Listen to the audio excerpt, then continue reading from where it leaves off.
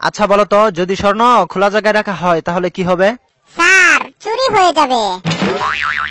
আচ্ছা মরুভূমিতে বাস করে এমন একটি প্রাণীর নাম বলো তো স্যার উট। ঠিক আছে আরেকটা বলো তো স্যার উটের গার্লফ্রেন্ড। আচ্ছা একটি মশা আর একটি হাতির তুলনা করো তো স্যার মশা হাতির গায়ে বসতে পারে কিন্তু একটি হাতি কখনোই মশার গায়ে বসতে পারে না। আমি একজন মানুষকে খুন করেছি। এই বাক্যটিকে ভবিষ্যৎকালে রূপান্তর করো তো। স্যার আপনি শীঘ্রই জেলে যাবেন। আচ্ছা সতেরোশো সাতান্ন সালে কি ঘটেছে বলতে পারো? স্যার কালকে রাত্রে কি দেখাইছি এটাই কভার হইতাম না আর আপনি কইতেছেন সতেরোশো সাতান্ন সালের কথা।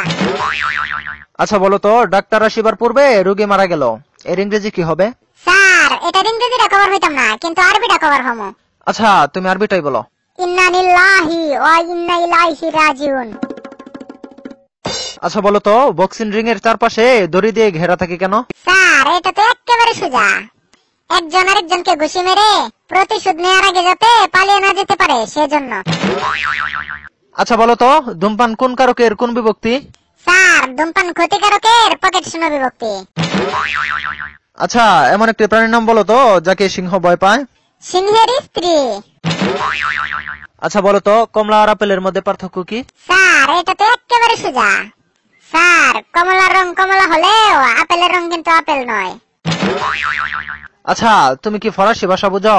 স্যার বাংলা করলে মোটামুটি বুঝি। আচ্ছা বলো তো একটা কাচের গ্লাস উপর থেকে ফেলে দিলে কয় টুকরো হবে? স্যার কাচের গ্লাসটা আমার কাছে দিন। আমি উপরে থেকে ফলাই দিয়া ভাঙ্গা দেখি কয় টুকরা হয়।